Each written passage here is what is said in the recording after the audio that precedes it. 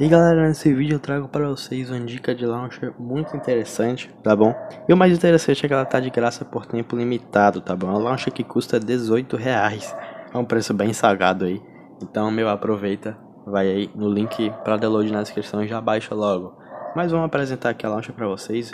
O nome dela é 10.0 Launcher Pro, tá bom? OSP Launcher é o nome do estúdio aí dos, dos desenvolvedores e tal.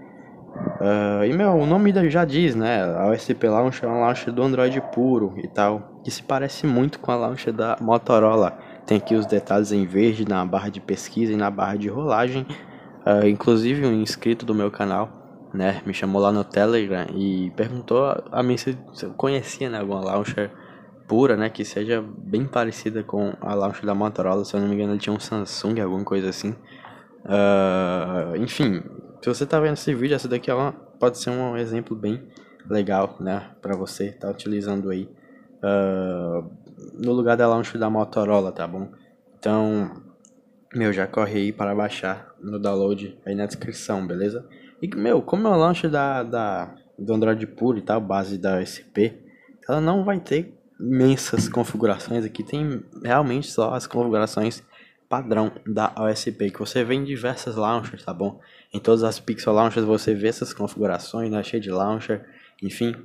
Uh, que alterar a forma dos ícones, tá bom? Que isso aqui já vem desde Android 7, se eu não me engano, 7 ou 8. Permite a rotação da tela inicial, adicionar ícone à tela inicial e pontos de notificação, tá bom? Que já vem desde Android Oreo, se eu não me engano. Uh, fora isso, não tem nada, tá bom? Então, como eu disse, é um launcher do Android puro, então, meu, Uh, é, é, é para ela não ter nada realmente. É para ela ser exatamente dessa forma simples, rápida uh, e funcional, tá bom? Leve, enfim, vai rodar em qualquer smartphone, uh, não vai consumir bateria nem memória RAM. Enfim, a loja que não é poluída. E aqui vocês estão vendo que meus ícones estão quadrados e tudo mais, é porque eu estou utilizando um Xiaomi. A Xiaomi ela trava os ícones do sistema na forma quadrada. Então você pode ir lá nas configurações mudar a forma e tudo mais, eles não vão mudar. Isso se você tiver um Xiaomi, tá bom? Se você tiver um Samsung, um Motorola, ele vai mudar tranquilamente, tá bom? Então, meu, link na descrição para você baixar. Aproveita que a promoção já tá no fim, beleza? Uh, então, é isso, galera. Vou ficando por aqui. Até o próximo vídeo e fui.